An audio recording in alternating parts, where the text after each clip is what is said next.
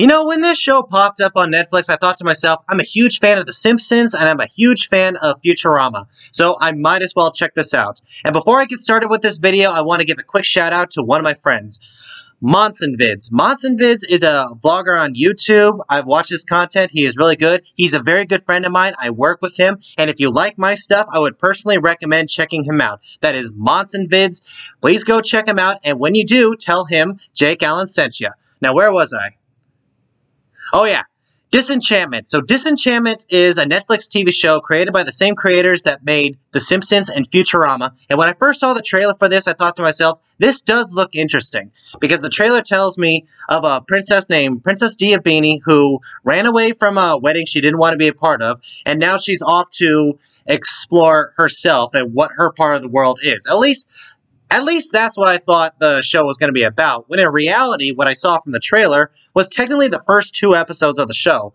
As for the rest of it, they spend most of their time at her home in Dreamland, the castle of Dreamland. Now, now, if we're going to stay in one place for most of the show, how is Dreamland in particular? It's alright, for sure. I mean, some episodes were definitely filler, nothing really special about them. But there was enough content in the show to make me continue watching it. Like, like for example, Princess Tiabeanie herself, you could definitely tell that she is a spoof off of Princess, uh, Queen Targaryen, Daenerys Targaryen from Game of Thrones, if I can get my words right. You can definitely tell she's a ripoff of her if she was a very heavy drinker. Yeah. Now, there's there's one little problem when it comes to that. For three shows in particular, can you come up with a, another main character that is not a heavy drinker? I'm just saying. But anyway, Tiabeanie, or Bean, as everyone likes to call her, is palled around is palled around by a little elf named Elfo, who ran away from Elfwood because it's just too much of a heavy place. He wants a life that has a little bit more misery in it. So, in other words, ending up in Dreamland was the perfect place for him because knowing Dreamland's not exactly a rich place, is not exactly a fun place, but there is enough there to definitely grab your interest. Also, another one of her friends is a little demon named Luci. He's, he's basically her personal demon, trying to turn her to the dark side and whatnot. And for the first part, you kind of tell that, you can kind of tell two people are looking into a fire, looking into a fire and watching the demon's progress of taking, taking Bean taking Bean to the dark side. So you can tell there's a little bit of mystery involved with Luci, and that makes him a very interesting character. Whereas for Princess Bean and Elfo, that kind of falls a little bit flat. Why? Because, well, Bean wants to be a very happy person, and being a princess doesn't really make her happy, whereas Elfo wants to experience a more miserable life. But that's really the only character traits that we actually get in the very first part. And that was a little bit of a downer for me. That and also when when I'm thinking of a fantasy world created by the same people that made Futurama, I half expected the show to be a little bit more creative, just as creative as Futurama was. In every single episode, we would go to a new place. It's really different. They got very creative in their in their creations of new worlds and whatnot. I half expected that to be in Disenchantment, but you never really get that in the very first part. Except for a couple of scenes in particular. I mean, the Exorcist scene in the third episode, that was a very funny scene.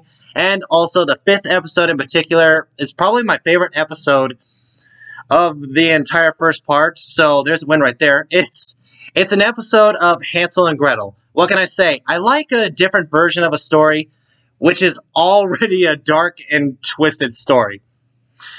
What can I say? I have my own pet peeves, and that's one of them. But there are also a couple of episodes that do definitely fall flat. I mean, Elfo pretending that he had a girlfriend who is a giant na- named Tess and everything. That episode was more a filler. I didn't really see any part of it being in the show.